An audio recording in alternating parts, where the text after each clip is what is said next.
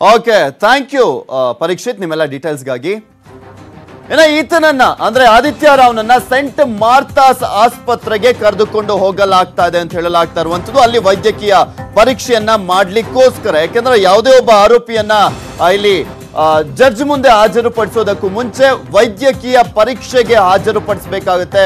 So, ಹೀಗಾಗಿ ತಪಾಸಣೆ ಬಳಿಕ ಸಿಟಿ ಸಿವಿಲ್ ಕೋರ್ಟ್ಗೆ ಕರೆದೊಯ್ಯಲಾಗುತ್ತೆ. ಅದಕ್ಕೂ ಮುಂಚೆ ವೈದ್ಯಕೀಯ ಪರೀಕ್ಷೆಗೋಸ್ಕರ ಆಸ್ಪತ್ರೆಗೆ ಕರೆದೊಯ್ಯಲಾಗ್ತಾ ಇರುವಂತದ್ದು ಹೆಚ್ಚಿನ ವಿಚಾರಣೆಗಾಗಿ ಕಸ್ಟಡಿಗೆ ಕೇಳಲಿದ್ದಾರೆ ಪೊಲೀಸರು. ಕೆಲವೇ ಕ್ಷಣದಲ್ಲಿ ಕೋರ್ಟ್ಗೆ ಆರೋಪಿಯನ್ನ ಹಾಜರುಪಡಿಸಲಾಗುತ್ತೆ. ಏನೆಲ್ಲ ಪ್ರೋಸೆಸ್ಗಳು ಇರುತ್ತೆ ಅನ್ನೋದನ್ನ ನಿಮ್ಗೆ ತೋರಿಸ್ತಾ ಇದ್ವಿ.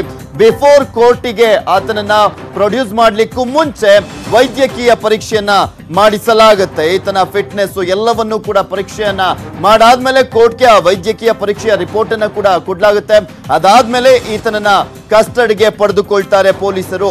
ಸೊ ಹೀಗಾಗಿ ಈಗ ಆಲ್ರೆಡಿ ಪೊಲೀಸರು ಆತನನ್ನ ಆಸ್ಪತ್ರೆಗೆ ಕರೆದೊಯ್ತಾ ಇದ್ದಾರೆ. ಸೆಂಟ್ ಮಾರ್ತಾಸ್ ಆಸ್ಪತ್ರೆಗೆ ಕರೆದೊಯ್ಯಲಾಗ್ತಾ ಇರುವಂತದ್ದು ಅಲ್ಲಿ ವೈದ್ಯಕೀಯ ಪರೀಕ್ಷೆ ನಡೆಸಿ ಆದ್ಮೇಲೆ ಸಿಟಿ ಸಿವಿಲ್ ಕೋರ್ಟ್ ಜಡ್ಜ್ ಮುಂದೆ ಹಾಜರುಪಡಿಸ್ತಾರೆ.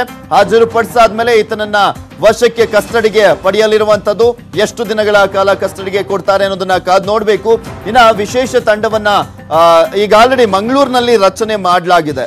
ಯಾರು ಏನು ಎತ್ತ ಅನ್ನೋದ್ರ ಬಗ್ಗೆ ಮಾಹಿತಿಯನ್ನ ಕಲೆ ಹಾಕ್ಲಿಕ್ಕೋಸ್ಕರ. ಇನ್ನು ಈ ಕುರಿತಂತೆ ಹೆಚ್ಚಿನ ಡೀಟೇಲ್ಸ್ ಅನ್ನ ನೀಡ್ತಾರೆ ನಮ್ಮ ಪ್ರತಿನಿಧಿ ಸೌಮ್ಯ ದೂರವಾಣಿ ಸಂಪರ್ಕದಲ್ಲಿದ್ದಾರೆ. ಎಸ್ ಸೌಮ್ಯ, ಎಲ್ಲಿ ಈಗ ಈತನನ್ನ ವೈದ್ಯಕೀಯ ಪರೀಕ್ಷೆಗೆ ಒಳಪಡಿಸಲಾಗ್ತಾ ಇರುವಂತದ್ದು? ನೆಕ್ಸ್ಟ್ ಪ್ರೋಸೆಸ್ ಏನಿರುತ್ತೆ? ಹೆಚ್ಚಿನ ಅಪ್ಡೇಟ್ಸ್ ಏನಿದೆ?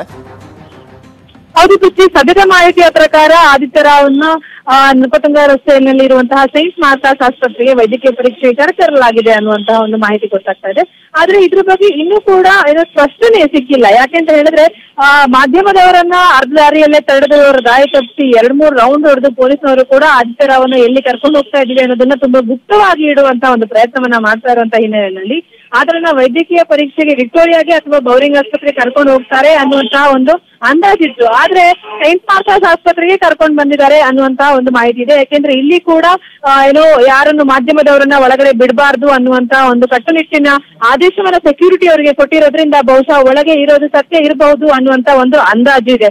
ಆದ್ರೆ ಈ ಬಗ್ಗೆ ಆಸ್ಪತ್ರೆಯ ಮೂಲಗಳಾಗ್ಲಿ ಅಥವಾ ಅಥವಾ ಪೊಲೀಸ್ನವರಾಗ್ಲಿ ಯಾವುದೇ ರೀತಿ ಒಂದು ಸ್ಪಷ್ಟನೆ ನೀಡಿಲ್ಲ.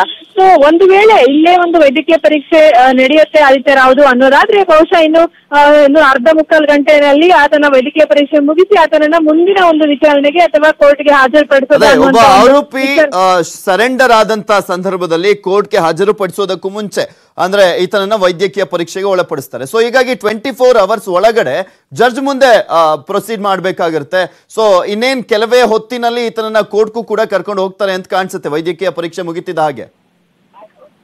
ಹೌದು ಪ್ರತಿ ಇಪ್ಪತ್ನಾಲ್ಕು ಗಂಟೆಗಳ ಸಮಯ ಇರೋದ್ರಿಂದ ಕೂಡಲೇ ಆತನನ್ನು ಕೋರ್ಟ್ಗೆ ಹಾಜರುಪಡಿಸ್ತಾರಾ ಅನ್ನುವಂತಹ ಪ್ರಶ್ನೆಯನ್ನು ಕೂಡ ಇಲ್ಲಿ ನಾವು ಗಮನಿಸಬೇಕು. ಯಾಕೆ ಅಂತ ಹೇಳಿದ್ರೆ, ಆ, ಮೊದಲನೇ ಹಂತದಲ್ಲಿ ಏನು, ಈತ ಮೊದಲನೇ ಸಲ ಏನು ಬಾಂಬ್ ಕರೆ ಮಾಡಿರುವಂತದ್ದಲ್ಲ, ಈ ಹಿಂದೆ ಕೂಡ ಈತನ ಒಂದು ಹಿನ್ನೆಲೆಯನ್ನ ನಾವು ಗಮನಿಸಿದಾಗ, ಈ ಹಿಂದೆನೂ ನಾಲ್ಕೈದು ಬಾರಿ ಈ ತರ ಈ ಒಂದು ಪ್ರಯತ್ನವನ್ನ ಮಾಡಿರೋದ್ರಿಂದ, ಆ, ಈ ಬಾರಿ ತುಂಬಾ ಸ್ಟ್ರಿಕ್ಟ್ ಆಗಿ ಆತನ ವಿರುದ್ಧ ಒಂದು ವಿಚಾರಣೆಯನ್ನ ನಡೆಸುವಂತಹ ಒಂದು ಸಾಧ್ಯತೆ ಇರೋದ್ರಿಂದ, ಆ, ವೈದ್ಯಕೀಯ ಪರೀಕ್ಷೆಗೆ ಈಗ ಕರ್ಕೊಂಡು ಬಂದ್ರು ಕೂಡ ಮುಂದಿನ ಒಂದು ವಿಚಾರಣೆ ಇರ್ಬೋದು ಅಥವಾ ಕೋರ್ಟ್ಗೆ ಹಾಜರುಪಡಿಸುವಂತದ್ದು ಇರ್ಬೋದು, ಅದೆಲ್ಲವನ್ನು ಕೂಡಲೇ ಮಾಡ್ತಾರಾ ಅನ್ನುವಂಥದ್ರ ಬಗ್ಗೆ ಕೂಡ ಇನ್ನೂ ಸ್ಪಷ್ಟನೆ ಸಿಕ್ಕಿಲ್ಲ.